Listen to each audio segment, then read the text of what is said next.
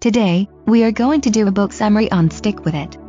If you love this book, you can purchase by going to the link in the description below. Do you always find yourself giving up on your goal and dream fairly easily?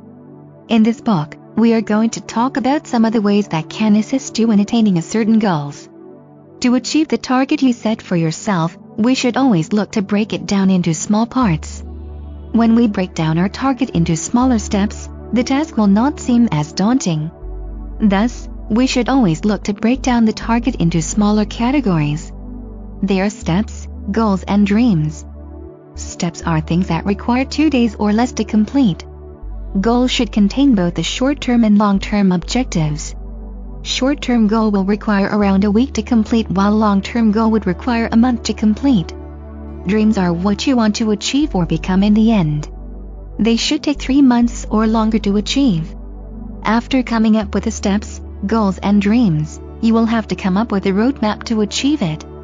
Roadmaps are the things that you have to do every day to achieve your steps, goals or dreams. After breaking it down into step, goal and dream, you should join social support group. The support group consists of people who are trying to achieve the same goal as you. They will try to support and motivate along your journey to achieving your goal. These groups are also common called social magnet. This is because the group attract people with the same goals together, making them less likely to splinter and abandon the goals. There are many such social support group. Some examples are Alcoholic Anonymous and Weight Watcher. Thus, if you need someone to push you and keep you in check, you should look to join a social support group. Make changes to your environment so that it will encourage and improve your chances of achieving your goal. Tidy up your house by removing anything that will distract you from achieving your goal. If you want to quit smoking, remove any form of tobacco in your house. If you want to lose weight, remove all the junk food from your home. This may sound easy but it actually takes a lot of willpower to not bring those things back home. Change the perception of yourself. If you want to train for your marathon, you can start referring yourself as a marathoner instead of someone who is training for marathon.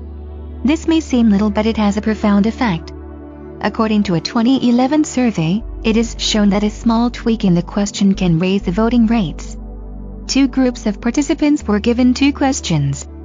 The first group was asked, How important is it for you to vote? and the second group was asked, How important is it for you to be voter?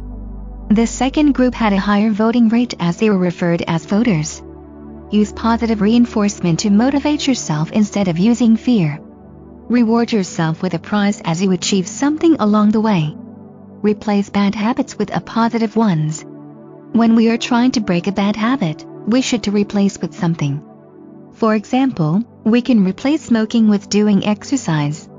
Whenever you feel the urge to smoke, you should go out to run. As you repeat this process, the good habit of exercising will be formed through repetition. It will be ingrained in our mind. This is the end of the summary. If you love this video, please like and subscribe to the channel.